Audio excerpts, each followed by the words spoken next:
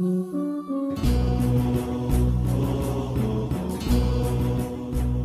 کس چیزوں کی طرف اجزان محترم جو ہے وہ خیال کرنا چاہیے؟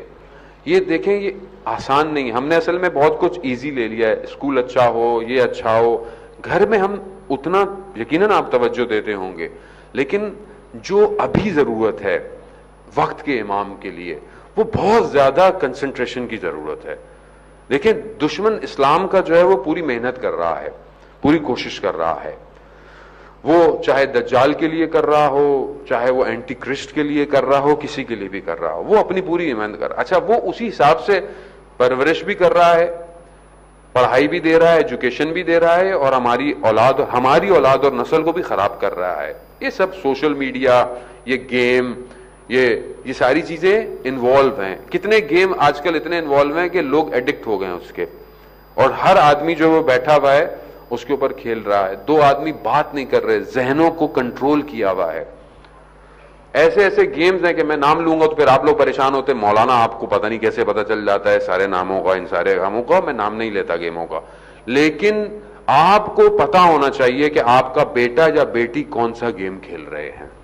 ایک ہمارے دوست میں گیا، ایک ملک میں، انہوں نے بتایا کہ میرا بیٹا تھوڑے تھوڑے دنوں بعد مجھ سے کریڈٹ کارڈ کا نمبر مانگ رہا ہے۔ تو میں نے اس سے پوچھا، بیٹا، کیوں مانگ رہے ہو؟ کہا، وہ گیم میں چیزیں خریدنی ہے کہا، بیٹا گیم تو فری ہے، آپ نے ڈاؤن لوڈ کیا۔ کہ نہیں گیم فری ہے۔ اس کے بعد آگے اب کچھ بھی کرنا ہے تو پیسے دینے پڑ جاتے ہیں۔ تو کہتے ہیں میں نے ایک دن دیکھوں کہ یہ گیم ہے کیا؟ تو دیکھا، وہ گیم مار دھاڑ ہے، مارنا کلنگ ٹھیک ہے؟ اب وہ ذہن کی تربیت کر رہے ہیں۔ ذہن کو صفاق بنا رہے ہیں۔ اچھا اس کے اندر اس، انہوں نے کہا کہ میں نے دیکھا کہ میرے بیٹے نے لڑکی کا انتخاب کیا ہوا ہے۔ یعنی جو اندر وہ ہمزاد ہے، کیونکہ دیکھیں جو گیم ہوتا ہے، اس میں آپ خود اندر ہیں نا۔ جب آپ زیادہ کھیلتے ہیں تو آپ کی زندگی وہی یعنی virtual life will become real life, basically وہ ہو جاتی۔ تو کہا، اس نے لڑکی کا انتخاب کیا ہے۔ تو میں نے اس سے پوچھا، بیٹا، تم لڑکے کا انتخاب کرو، تم لڑکے ہو؟ کہا، نہیں، اس میں بہت پاور ہے، اس میں ساری چیزیں ہیں۔ دیکھا آپ نے how they are changing gender لیکن کیونکہ ابھی آپ کو سمجھ میں نہیں آئے گی بات یا آپ کو کچھ عرصے کے بعد سمجھ میں آئے گی۔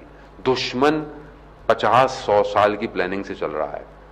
ہم سے پانچ دن کی پلاننگ نہیں ہوتی ہے۔ اگر ہم چاہتے ہیں کہ ہماری اولاد امام زمانہ کی اولاد ہو، امام زمانہ کا سپاہی و محترم، ہمیں چند چیزوں کی طرف few factors very important religious factor تربیت میں بہت امپورٹنٹ ہے۔ دین ہونا بہت ضروری ہے۔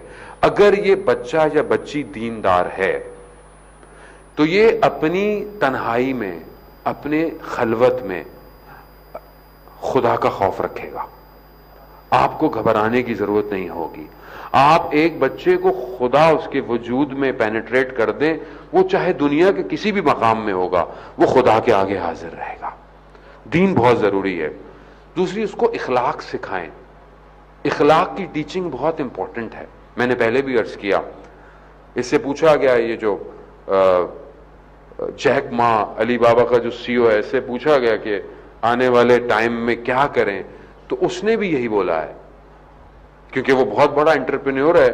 اس نے بولا ہے کہ آنے والا ٹائم مشین کا ٹائم ہے۔ مشینز کام کریں گی۔ رپورٹس ابھی بھی آپ کے سامنے اب سب مشین کام کر رہی ہیں۔ کہا مشین کی نالج سے انسان جیت نہیں سکتا۔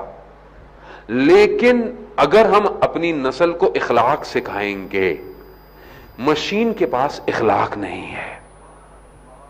اخلاق سکھائیں۔ اخلاق کیوں امپورٹنٹ ہے؟ اخلاق اس لیے ہے کہ آپ ایک ایسی کمیونٹی میں رہتے ہیں جہاں مسلم بھی ہے نان مسلم بھی ہے کرسچن بھی ہے ہندو بھی ہے، دوسرے لوگ بھی رہتے ہیں۔ جب آپ ان کے ساتھ اٹھیں بیٹھیں گے تو یہاں آپ کو آپ کا اخلاق جو ہے وہ کامیاب کرے گا۔ یہ اخلاق آنے والی نسل میں بہت امپورٹنٹ ہے۔ تیسری چیز، آپ کو اپنی اولاد کو ہنر سکھانا ہے، آرٹ۔ آرٹ کی تعلیم دیں۔ اس کو آنے والی نسل سب جو ہے وہ ڈیزائنڈ فیبریکیشن ہے، سب ڈیزائنڈ ہے۔ میری اولاد امام زمانہ کے لیے کیا کر رہی ہے؟ کیا کچھ ایسے کریکٹر ڈیزائن کر رہی ہے کہ جو کسی طریقے سے پیش ہوں گے؟ آج ہماری اولاد جو ہے وہ اس کے لیے رول ماڈل کیا ہے یہ سپر مین بینٹن اور یہ وہ۔ کیا ہم لوگ ہماری آنے والی نسل کریکٹر ڈیزائن کی طرف جا رہی ہے؟ کیا ہم لوگ ایپلیکیشن ڈیزائن کی طرف جا رہے ہیں؟ کیا ہم لوگ کوئی آرٹیفیشل انٹیلیجنس کی طرف جا رہے ہیں؟ ہمارے پاس کیا ہے؟ ہم امام زمانہ کو مثلا آپ کیا کہ امام زمانہ آئیں گے تو کس کے بلبوتے پر آئے امام زمانہ؟ کیا ہے ہمارے پاس امام زمانہ کے لیے؟ ہر امام کو اس کے دور کی ٹیکنالوجی کی ریکوائرمنٹ ہے۔ امام زمانہ آئیں گے یہ خیال خیاموں سے ذہنوں سے نکال دیں کہ ہم لوگ اولڈ زمانے میں چلے جائیں گے۔ جی امام زمانہ آئے گا۔ یہ ایک جو بڑی سوچ ہمارے معاشرے میں ڈیولپ ہے۔ جی کہ نہیں، امام زمانہ آئیں گے ٹیکنالوجی ختم ہو جائے گی اور ہمیں کچھ نہیں، ہاتھ پہ ہاتھ پہ رکھنے بیٹھنا۔ عزیزان محترم، اگر ہاتھ پہ ہاتھ رکھ کر شیعہ کا علی بیٹھا ہوتا تو آج ٹو ہنڈریڈ بلین ڈالر کا ڈرون ایران نیچے نہ اتار دیتا۔ یہ ہاتھ پہ ہاتھ رکھ کے بیٹھنا نہیں تھا، یہ ہے ولایت علی جبن ابی طالب کا کمال۔